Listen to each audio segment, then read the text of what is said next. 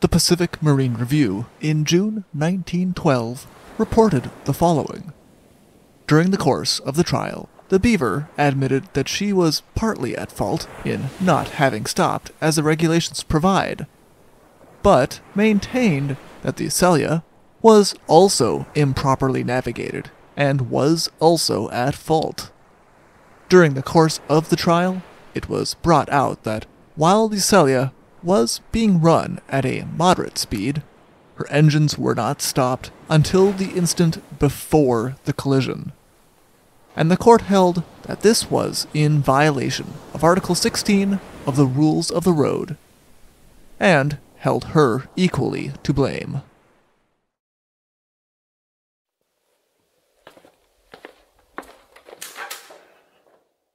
Hello, and welcome to the Shipwreck Archive. Thank you. Would you happen to have the story? The Selja and the Beaver are both to blame. Here we are. Enjoy!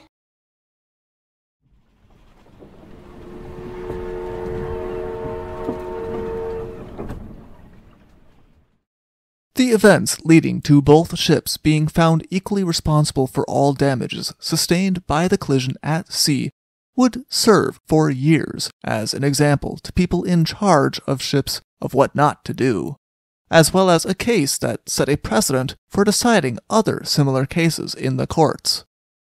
The newly built 4,507 ton steamship, the Beaver, was an American vessel under the command of Captain William Kidston. She departed from San Francisco to Portland on the 22nd of November 1910 with 105 passengers as well as a general cargo of goods for the San Francisco Portland Steamship Company. Almost as soon as the Beaver left port, they encountered a thick fog. Captain Kidston ordered that the speed of his ship be reduced, and he had the ship's automatic fog whistle which sounded once every 35 seconds, to be engaged. The Selja, meanwhile, was approaching San Francisco after a long voyage. The 4,459 ton steamer had been built in 1907 and was registered in Norway, but it was chartered by the Portland and Asiatic Steamship Company. It was for them that she made her last voyage, under the command of Captain Lee departing from Portland on the 22nd of January with a cargo of flour bound for Hong Kong, then stopping in Yokohama before heading back. This had not been a voyage without incident. On the 1st of June, the Selja was reported to have grounded in the Tsugaru Straits, but it had not damaged the ship, and her voyage continued without further concerns.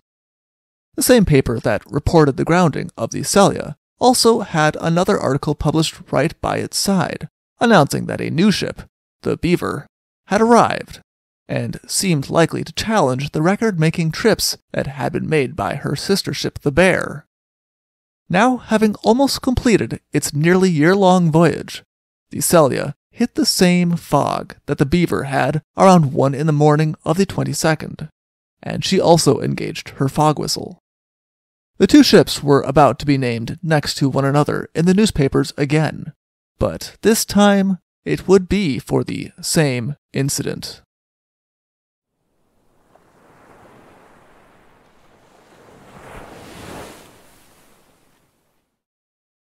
When the Selja had hit the fog, the third officer of the ship, who had been in command at the time, called for the captain to the deck, and Captain Olaf Lee remained on the deck from then on, even though he said that, other than the fog, the weather was good, and the sea was calm. Due to the thick fog, the Selja was now only traveling at half speed, which was about six knots. And when Captain Lee heard a whistle coming from off his bow in the thick fog around three in the afternoon, Captain Lee would say that he had not thought it necessary to reduce his speed at that time, Captain Lee assumed it was the Point Reyes whistle due to how faint and distant it was, even though he could hear it clearly.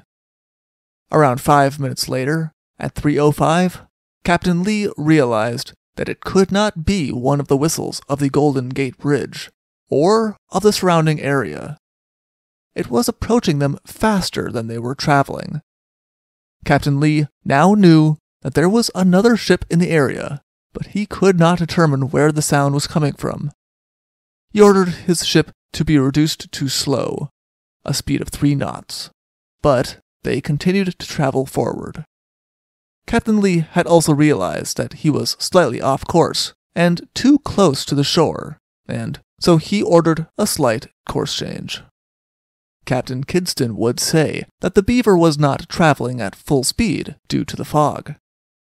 But her exact speed was a matter of some debate later, to the extent that it was put to multiple specialists and expert witnesses who were asked to calculate how fast they thought the Beaver had been traveling.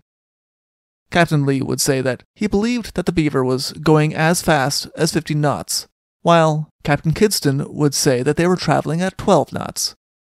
It was eventually decided to be a moot point, since it was agreed by both sides that this was indeed too fast considering the thick fog that the ships found themselves in. Captain Kidston would also say that he had just heard the fog whistle of the Selja right before they saw her. Unlike Captain Lee, who said that he had been hearing the fog whistle of the Beaver for some time, Captain Kidston said that they had heard the fog whistle of the Selja, responded once, and then heard the whistle again. Ten seconds later, while still trying to see through the fog and see where the other ship was, the Selja appeared across their bow suddenly in the fog. The beaver gave three short blasts on his whistle, a signal to not cross their bows, only for the Selja to respond with the same signal back. Captain Kidston immediately ordered that the engines be reversed, but it was too late. The general agreement was that, due to the speed that the ship was traveling in, she still had a lot of headway, and simply ordering the engines to be reversed right before the collision was too little too late. But Captain Kidston argued that a sudden swell of the tide had carried his ship forward, and that they were practically at a standstill right before the collision. Captain Lee also said that when he had seen the Beaver, he had ordered the engines of the Selja also reversed. Also, too little too late. No matter the reason, the prow of the Beaver plunged into the side of the Selja at 3:15 in the afternoon.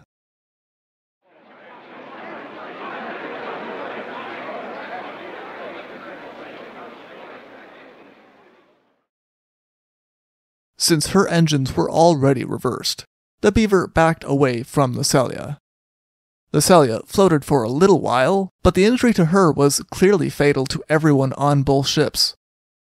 The passengers, who had rushed on deck when the three short blasts of the whistle had sounded, knowing something was wrong, could see a gaping hole in the side of the Selja from the deck to below the waterline. While the passengers on the Beaver were still trying to take stock of what had occurred, the people on the Selja were already preparing to evacuate the ship. The Beaver, meanwhile, also lowered two boats with the intention of helping anyone they could.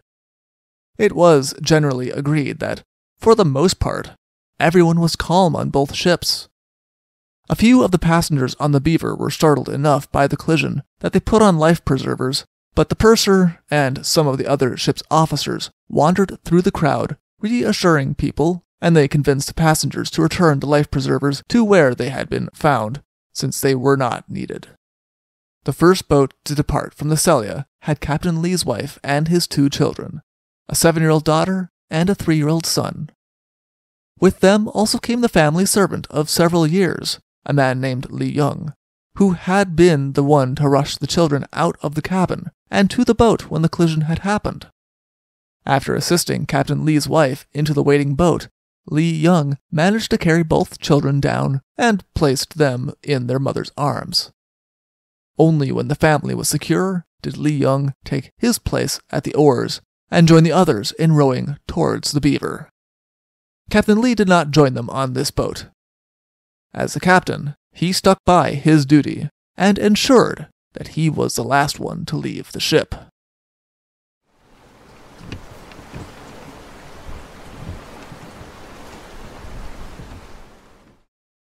As the boat carrying Mrs. Lee and her children approached the side of the Beaver, one of the boats was being lowered by the Beaver to assist the people on the Selja.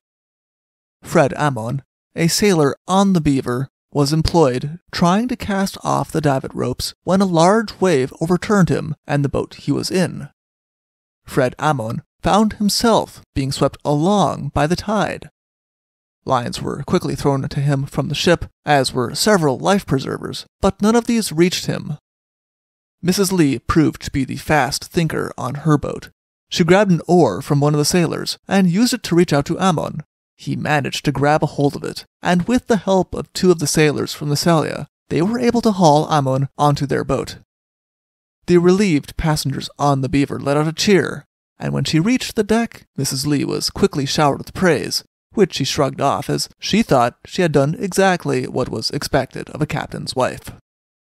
Lee Young at first had anchored the boat they traveled in to the side of the Beaver by a rope ladder, but the sea was rolling too much for anyone to use a ladder as intended. Captain Kidston ordered the starboard freight porthole opened to allow people to pass through that instead. Captain Lee's wife and children were passed through first, and then the rest of the sailors scrambled after. Lee Young had allowed everyone to go ahead of him and help them as needed. Unfortunately, this meant that by the time he was the last person on the boat, he was exhausted and seemed unable to save himself. The boat was starting to drift away from the side of the Beaver at this point, and though a line was thrown to him, he was not able to climb it. Finally, Lee Young simply tied the rope around his waist and allowed those on board of the Beaver to pull him up over the railing and to safety. It was reported that by the time that the Beaver returned to port, though, Lee Young was already back to helping Mrs. Lee with the care of the children. The newspaper that carried the story said that much like Mrs. Lee, Lee Young seemed indifferent to the cheers and praise of the passengers of the Beaver for his actions a second boat arrived from the Selja without incident, and then Captain Lee, with five remaining members of the crew and all the ship's papers, got into a boat and prepared to launch it. This boat was not so lucky. The waves smashed the boat to pieces against the side of the ship, and all of the men who had lowered it, including Captain Lee, were thrown into the water. Captain Lee managed to climb back onto the deck of the sinking ship and after running across the deck, found a davit rope still hanging from the side of the ship from launching another boat. Using this, he was able to reach the water on the other side of the ship where one of the beaver's boats was nearby, and able to pull him out of the water. Three of the sailors who were thrown into the water when the boat smashed managed to find pieces of the broken boat to cling onto until the boats of the beaver were able to save them as well. Two of the sailors were lost, though. Also lost were the ship's papers, which would further complicate later court matters.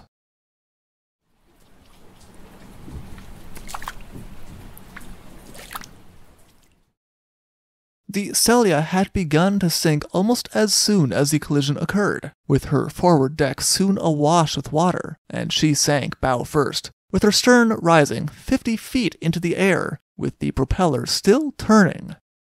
The deck freight was pitched into the ocean, and the smokestack went beneath the waves with one final long loud blast of her steam whistle. The passengers on board of the Beaver were shocked to find that they could hear the air slowly hissing through the deck of the Selja as she sank, before she suddenly twisted and went down bottom up, with her keel and screw being the last anyone saw of her. It had only taken about 15 minutes from the collision for the Selja to entirely disappear. The Beaver had not come out of the collision unscathed. Her bow was damaged, and some of the crushed plates were allowing water in, but as the officers reassured the passengers, the waterproof bulkheads served their purpose and did not allow the ship to sink. The Beaver limped back into San Francisco only hours after they had left it badly damaged and with a lot of people on board who were still in shock. Much of the attention and interviews from the papers would focus on the Beaver and what her passengers thought of the whole matter, not the least of which because a majority of the crew of the Selja was Chinese, and when the papers did speak to them, it was not kindly. Captain Lee would soon gain much more attention, though. The inquiry into the wreck found fault with both ships. Article 16 in the International Regulations for Preventing Collisions at Sea, adopted in 1890, had stated very clearly that when a vessel proceeding in a fog heard a fog signal of another vessel that was presumably forward of her, or whose position was not ascertained, the vessel had a duty to stop their engines. Neither Captain Kidston or Captain Lee had done so, even though both of them admitted themselves familiar with the regulations. The decision of the inquiry did not stop Captain Lee as well as the owners of the Selja to go against Captain Kidston and the San Francisco Portland Steamship Company for the loss of the Selja. The owners of the ship sought to get payment for their ship and their cargo from the steamship company, while Captain Lee, in an independent suit, wanted to be repaid for the loss of the personal belongings of himself and his crew. It was a lengthy court battle that went all the way to the Supreme Court, but on every level it was decided in the same way. Since both captains were to blame, no damages would be paid. And both ships were responsible for the damages to their own ships due to their actions. The court case went on so long, and Captain Kidston's testimony was needed so often that he was removed from his command of the Beaver, which continued her usual run. It did not have a permanent impact on his career, however. Once matter was decided, he was placed on the South America route of the same company. Though in the collision neither captain had acted as they should to prevent the accident, the Beaver and Captain Kidston had definitely gotten off more lightly. Captain Kidston still had a command, and the Beaver was still above water. For more information, please see the San Francisco call from November 23, 1910, or see other sources in the description below. Thank you for listening. Thank you for visiting the Shipwreck Archives. See you soon.